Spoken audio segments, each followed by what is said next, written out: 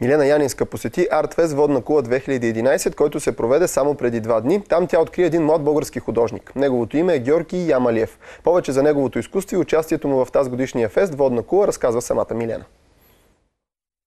Една от атракциите на Водния фест в София беше Георги Ямалиев. Не само защото е един от малкото български участници. Неговото дело е инсталация, която представлява съпоставка между етапите при инсталиране на компютърна програма и човешкия живот. Веднъж докато инсталирах една програма, просто се замислях наистина, защото постоянно те пита, съгласен ли си, искаш да продължиш, така нататък.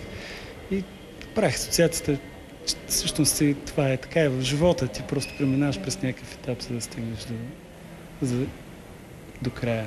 Като се започне нали, първоначално от самото запознаване на програмата и започва с бутон, естествено, винаги има да инстал, инсталиране.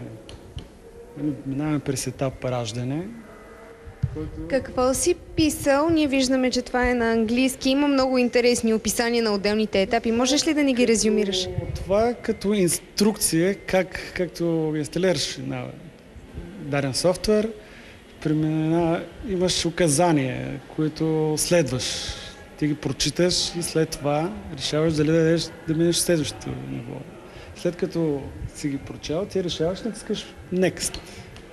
Така минаваш в детството. След това там са изборени спецификите на този период и ти казват да продължиш, натисни следващ, пак не. И така стигаш до младост. След това преминаваме вече в не толкова радостната етап от живота и това е старостта, докато стигаме до края, неизбежния, който в този случай аз съм описал, че тази програма, която се нарича Живот, е необратима и няма, да няма начин да бъде рестартирана за наша жалост.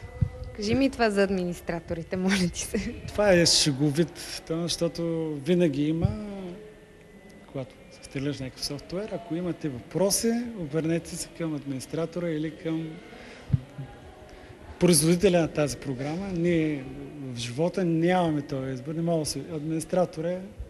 Я ни чуе, я ми. Колкото и да е тъжно внушението, че нашия живот е неизбежно рамкиран и белязан от поредица на отменни цикли, според автора на инсталацията всеки от нас трябва да бъде щастлив и да се надява да мине през всички предварително обозначени пътни знаци.